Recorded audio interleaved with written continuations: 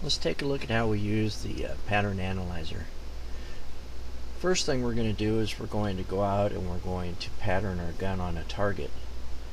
We need to use a square target anywhere from uh, 32, 34 up to 60 inches depending upon the distance and the choke that we're going to use. Uh, we want it to be fairly stiff. You can put paper over plywood. You can use the uh, white insulating foam and put that over over plywood or stiff cardboard. And we don't want to mark on it, but we can take and uh, we can use a uh, uh, little uh, post-it or a sticky uh, shooting dot and put in the center. Uh, after we do that, we're going to make sure that we record our, our shell data. Some of this is critical to the program and some isn't. We definitely need to know the shot, the weight, the choke, and the velocity uh, in order to properly analyze the uh, pattern. After you uh, fire on the pattern, you're going to remove the sticky dot or sticky uh, post-it and you're going to take a high quality picture of it going just past the edges. After we take that picture we are going to uh, crop the exact uh, target out and we're going to save it as a JPEG or a BMP at 900 by 900. So uh, let's go out and let's uh, do a test fire on a target and we'll bring it back in and work on it. Okay, we're using a 16 gauge with a improved modified choke. Uh, Number four shot, one and an eighth ounce, shooting at a 48 inch target at 30 yards. We're going to want to remove the dot or whatever we stuck in the center to aim at. And we're going to want to take a high quality picture making sure we get just past the edges of the target. After we've fired on our test target, we're going to want to bring the picture in and crop the actual target. If you don't have a utility to do that, you can get to one on the main page, open page of the uh, pattern analyzer.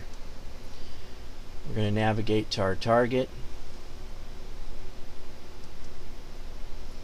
Then we're going to take and drag cursor across and get as much of the target in as we can. Depending upon how exactly level it is will determine how much we get. After we get that, we're going to go and we're going to copy that. Then we're going to go back to edit and we're going to crop the selection. So now we have just the target. Next we're going to go to image and we're going to resize the target. Uh, we want to make it 900 by 900 and because it may be a little bit off if the aspect is turned on turn off the preserve aspect so that we can make it exactly 900 by 900 and now that we're done with that we're simply going to um, save this so that we can work with it.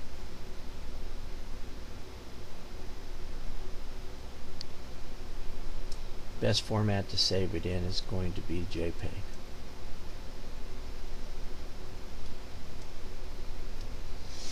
So after we've done that, we're ready to continue on.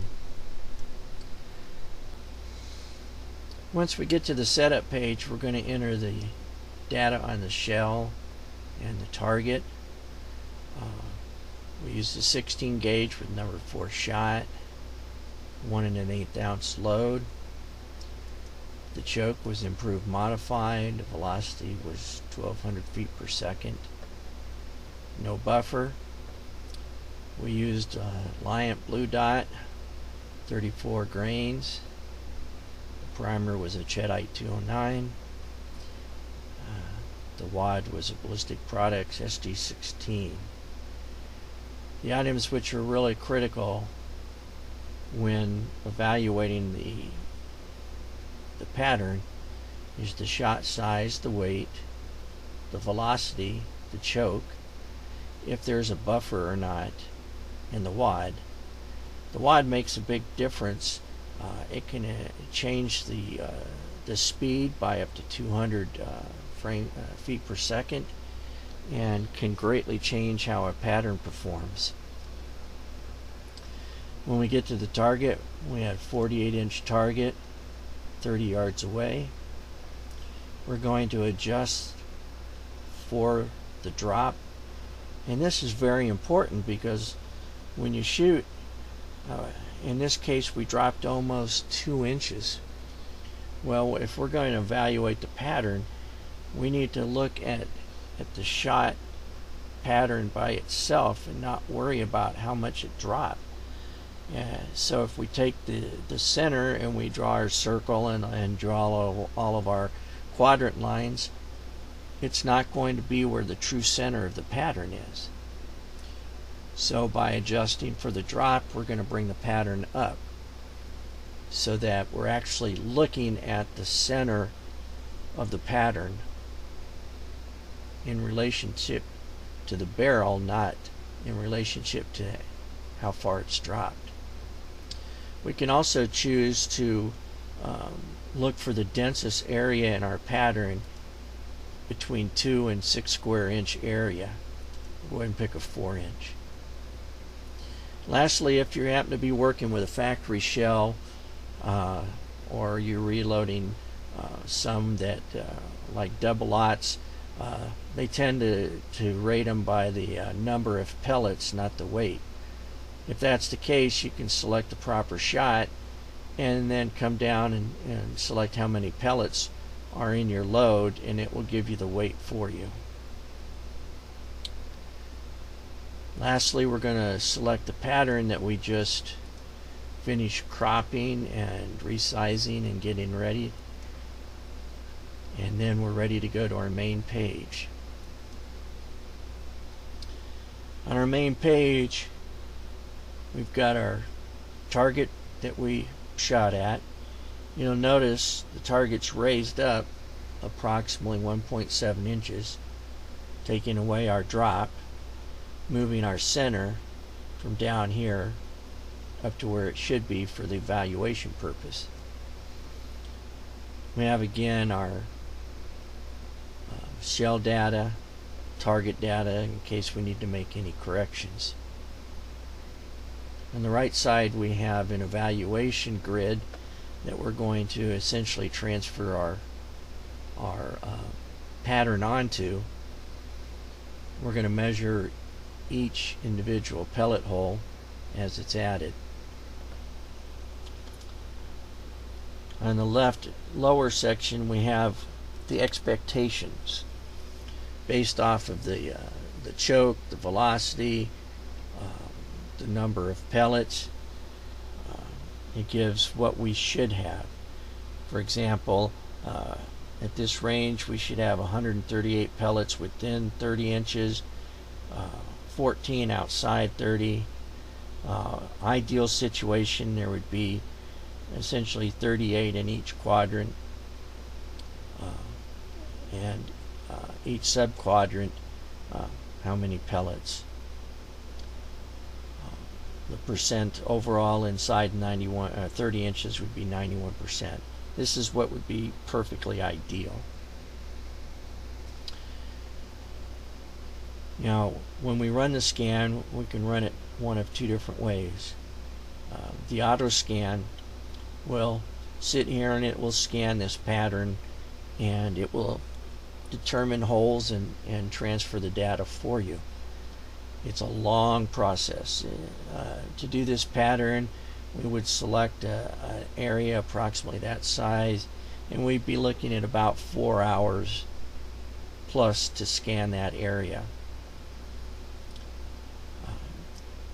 If it's uh, a tight pattern and you don't want to take the time to go through it, uh, you can start it and just leave it and let it run overnight or whatever you select just keep in mind once you start it, you don't want to open up any other program and overlay this this area or it'll mess up the reading of the uh, individual pixels. You can, however, turn off your monitor without any problems. You can also choose whether you want to scan the entire target or if you want to uh, select uh, an area range to be within. And when you, uh, during the setup process, you're going to set up the size of the hole. Uh, you can actually let it calculate it or you, you can manually set up the size. Now whenever you're working on this you'll be able to tell uh, the holes versus the background by looking at this area here this color area when we're over the target on this case we're going to be light gray uh, when we're over a hole we're going to be a darker color it gives you the color and the color number. So uh, if you do the automatic when you're going to set up a hole, uh, uh, when you want to find the left of it, you can go center of it and then go to the colors change dark. Same thing with going to the right and up and down. It's also a, uh, a good means of making sure that you are on a hole uh, when you select one. You can also choose the manual method where you're going to just individually click on each hole. In most cases this will be the, the easiest and most definitely the fastest way. If you're working with something like a double aught uh, buckshot load uh, with 12 pellets you obviously could just look at uh, this area and do it quite easily. Uh, when you start to get more pellets uh, in the area the, the size is smaller you can choose to work on one quadrant at a time. When you select that you need to to work on quadrant one until it's done because if you go to one quadrant and come back you won't know what holes are added. You also can choose based off the background color uh, whether to use the default which is a, uh, a brightish orange or you can use a uh, bright green cursor and cover. We'll go ahead and stay with the uh, default color. So we'll select that we're going to manually do it and start. It's going to remind you complete each quadrant before moving to the next. We're simply going to go over and if you notice you can see the colors change and select. Left clicking on each one. As we add it here, it'll be added here. When it's added, uh, the distances will all be measured and it'll automatically select the greatest distance between any of the pellets. Right now we've added two pellets and the distance between them is 5.73 inches. Based off of that, our calculated choke would be super full or much better. Just for an idea, you can see at 30 yards what each choke will do. An improved modified uh, would be about a 42 inch pat pattern. A full 34, extra full, and super full. The other thing to note when you start adding these is when you get to the sides and the bottom, when there's one that's really close, like you can see right here, there's a pellet mark. If we add it now, we'll need to make sure that when we get to quadrant 4, we don't add it again because it'll be visible.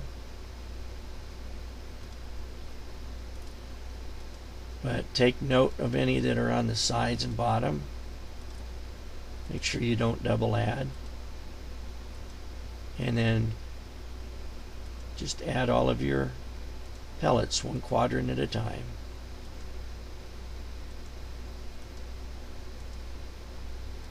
You'll see as we go that it's taken this four inch block and determined this is the densest area right now.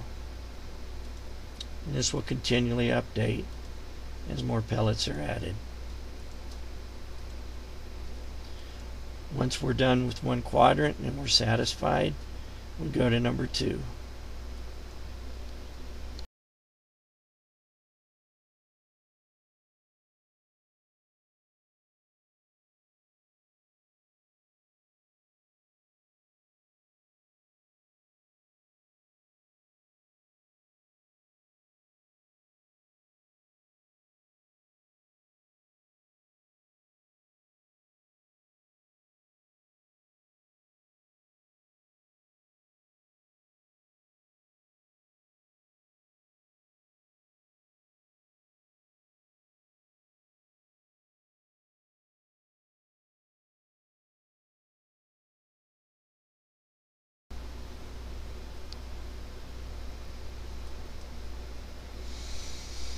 Now, once we've completed our pattern, we double check everything.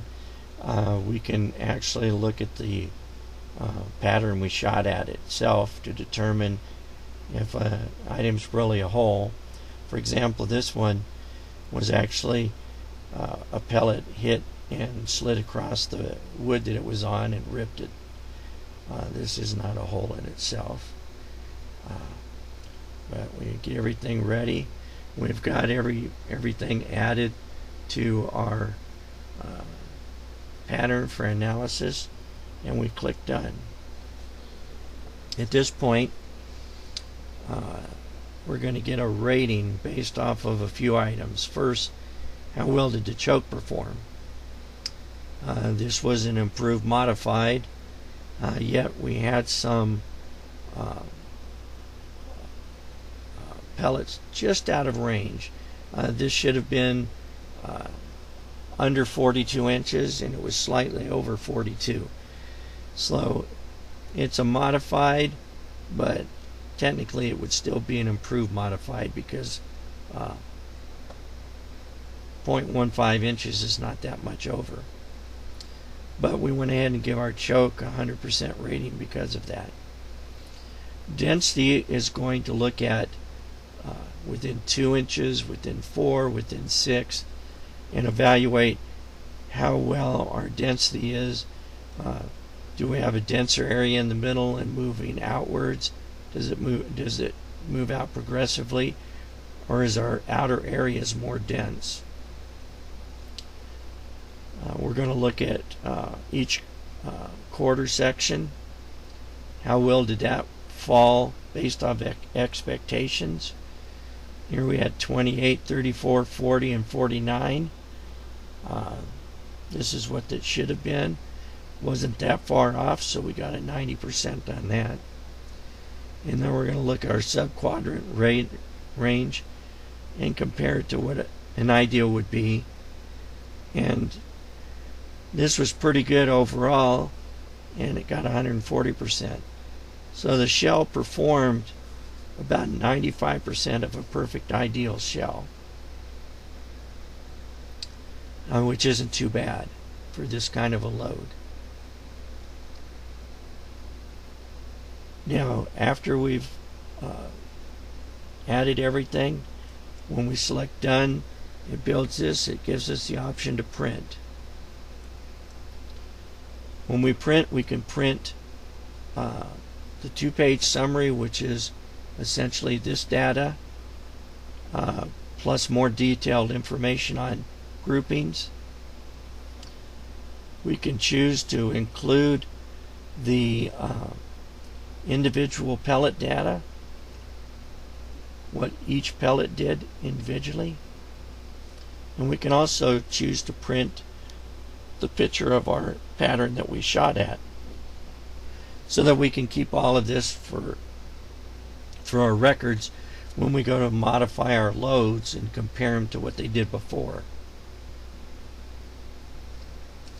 So I hope this helps you improve your shotgun pattern.